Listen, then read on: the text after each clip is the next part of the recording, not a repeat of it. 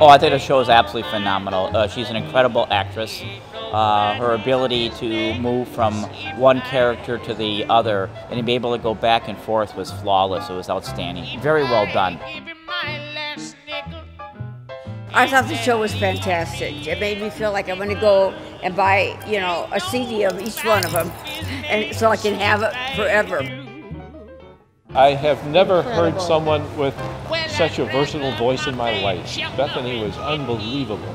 Then for him to just up and quit me.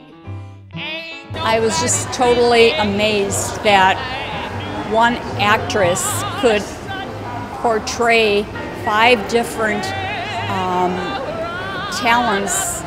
It was so beautiful, it made me cry. It was so absolutely beautiful. no better way to uh, uh, spend an evening. You know, really, there really isn't.